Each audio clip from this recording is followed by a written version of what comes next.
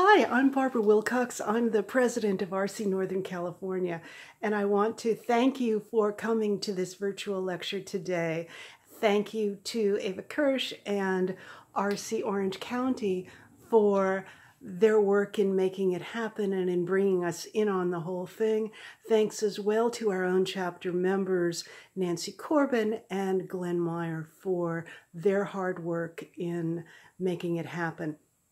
Uh, before I turn it over to RCOC, I would like to uh, remind us all about a national lecture that's going to take place on September 20th. That is a Sunday at noon Pacific time. And that will be Dr. Jose Galan of the Spanish Research Mission to Egypt.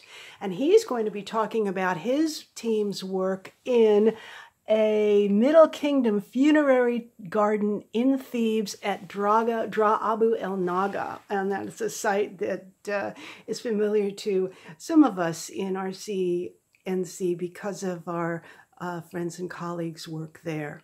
Registration is required in advance. Um, so please, for that lecture, go to the ARCE National website and uh, look for virtual lectures, and they will let you in if you do this 48 hours in advance of uh, curtain time. Again, that's the 20th on, uh, that's a Sunday at noon Pacific time. Um, with that said, no further ado, I will turn it over to Ava Kirsch and ARCE Orange County. Thank you very much.